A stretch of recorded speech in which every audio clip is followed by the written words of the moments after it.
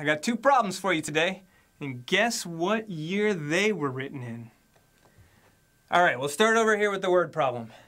Wow, whoa, square three times positive integer decreased by the integer.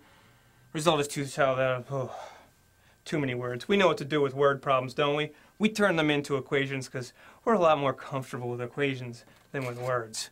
So let's see, we'll call that positive integer x. So 3 times the positive integer, that is 3x. And then we take the square of that. We got 3x, that whole thing squared. We decrease by the integer, decrease by x. The result is 2010. All right, let's square that out. Take 3x squared, you get 3 squared times x squared, and that's 9x squared minus x is 2010. Now maybe you know the quadratic formula. Maybe you know how to factor quadratics. Well, I'm not going to do any of that fancy stuff. I'm going to do something simple. I'm going to do something so simple, you might even call it stupid. That's right. I'm just going to pick numbers, stick them in there until I find one that works. So let's just guess. I'm going to guess easy numbers like multiples of 10. Because, you know, if I put a multiple 10 over here, I'm going to get something that ends in 0, and that's nice. So I stick in 10. 10 squared is 100. 100 times 9 is 900. That's too small. Let's try 20. 20 squared is 400. 400 times 9 is 3600. That's, that's too big. We're looking for the Goldilocks number. We want it just right. We want it right there in the middle. What's in the middle? Between 10 and 20? 15. Now before we go multiplying it out, we can at least see that 15 might be right, because if you take 15 and square it, you'll get something that ends in 5. You multiply by 9, you'll still have something that ends in 5. And then when you subtract 15 from something that ends in 5, you get something that ends in 0. That's nice. So let's go ahead and stick 15 in here and see what, you, see what we get. Now I don't want to multiply 9 and 15 squared. That's too hard. I'm going to do something easier. I'm going to go 10 times 15 squared and then subtract off the extra, the extra 15 squared. Fortunately, I do know 15 squared. That's 225. So we'll go 10 times 225, and then we have to subtract off the extra 15 squared, and 15 squared is still 225. I subtract off the 15 there. Let's see what this gives me. 10 times 225 is 2250. These two together are 240. 2250 minus 240, that's right. That's 2010. Now how you doing with that quadratic formula?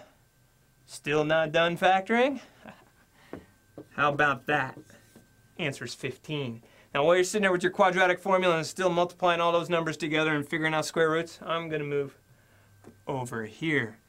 I wanted the largest integer less than 2010, so it can't be that large. If I divide by 7, I get a remainder of 5. Divide by 11 or by 13, I get a remainder of 10. Hmm. Now I could try to set up equations with all these these words and such, but oh boy, maybe that'll work. I, I don't I don't see how, and I don't see some simple stupid way to satisfy all three of these, but I do see a simple stupid way to satisfy two of them, right? I can just start with 10. 10. If I divide 10 by 11, I get a remainder of 10. If I divide 10 by 13, I get a remainder of 13. If I divide 10 by 7, I get a remainder of 3. Ah, maybe I can find other numbers that are divisible that leave a remainder of 10 when I divide by 11 or 13. And then keep testing them and see if I can satisfy this one too. Well, let's see if I can figure out how to find more to satisfy this first, to give us a remainder of 10 when I divide by 11. Well, if I start with 10, I just keep adding on 11s, I'll get more numbers that leave a remainder of 10 when I divide by 11. If I add on 1 11, 2 11, 3 11, a zillion 11s, and then I divide by 11, the remainder will still be 10. Same goes for 13. If I add on 1 13, 2 13s, a zillion 13s to my little 10 here, and then I divide the result by 13, the remainder is going to be 10. So I want to add on something that's going to be a bunch of 11s or a bunch of 13s. I can add on 11 13s. Because 11 13s is the same thing as 13 11s. So when I divide this by 11, remainder is 10. When I divide by 13, the remainder is 10. Very nice. So let's see what happens when we divide by 7. Well, I don't want to have to, well, this is 143. Right? 11 times 13 is 143. And when I divide 7 into 143, that's very convenient that this is just 3 more than 140. 140 is obviously a multiple of 7, so This leaves a remainder of 3 when I divide by 7. This leaves a remainder of 3 when I divide by 7. So when I add these together, I get a remainder of 6. I know that that's 6 more than a multiple of 7. So what I'm going to do here is it's more than a multiple of 7.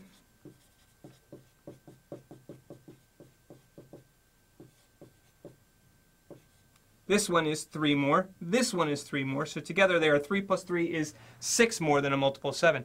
And what I want to do is, I, if I keep on adding 11 times 13s here, if I add on another one, when I divide by 11, still going to give me a remainder of 10 because these are going to go bye-bye. And when I divide by 13, when I divide this whole thing by 13, well, this is obviously a multiple of 13. I'm going to get a remainder of 10 still.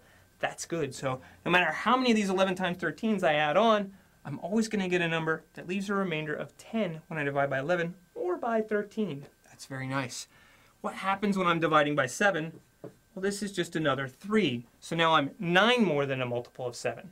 Well, that's actually 2 more than a multiple of 7. There's another multiple of 7. It's a little bit closer. But 2 is not 5, not even for very large values of 2.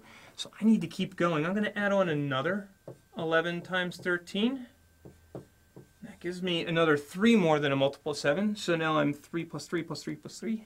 That's 12. 12 more than a multiple of 7 is also 5 more than a multiple of 7. I've got it. That's 5 more than a multiple of 7. So if I divide this number by 7, I'll get a remainder of 5. If I divide it by 11, I'll get a remainder of 10. If I divide it by 13, I'll get a remainder of 10. Yes! I've got my... Oh. I have an answer, but I don't know if it's the right answer. I want the largest integer, less than 2010, that satisfies all these. I've got an integer, and I could sit here and add all this up if I wanted to. But there might, there might be another one. There might be more. Now, how can I get to something here? I keep adding on things, if I keep adding on these 11 times 13s, I get more and more numbers that leave a remainder of 10 when I divide by 11 or by 13. But now I've got to also look for numbers that leave a remainder of 5 when divided by 7. So if I keep adding on 7s to this number, I will get a bunch more numbers that leave a remainder of 5 when I divide by 7. So I want to add on 7s, or I want to add on a bunch of 11 times 13s, and I want to end up with the same number at the end. What if I add 7 of the 11 times 13s? I add 7 of those. Now look at this huge number. Now I know that this right here leaves a remainder of 5 when I divide by 7. So when I add this on, I'm still going to leave a remainder of 5 when I divide by 7, because this is a multiple of 7. And clearly, if I divide this by 11, I get a remainder of 10. If I divide this by 13, I'll get a remainder of 10, because these are all multiples of 13 out here. So this number will work too. But what's this number? I surely don't want to multiply this whole thing out. Ha! Got something stupid I can do again. There are seven of these 11 13s. There's an eighth one, there's a ninth one, there's a tenth one. So I've got 10 of these 11 times 13s, and that's easy to multiply out. 11 times 13 is 143, so 10 of them is, 10 of them together gives us 1430. And that, we added together, is 1440. Now, I know for sure there's not a bigger one, because I'd have to add on another 7 times 11 times 13, and 7 times 11 times 13 is way more than 700, so that'll go, if I added 700 onto that, I get something way bigger than 2010. So 1440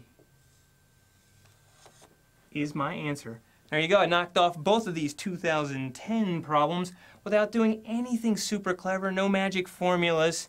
Most of the steps I took here, they were all pretty simple. So simple? Yeah, I know. You'd probably call them stupid, but just remember, never underestimate the power of a stupid idea.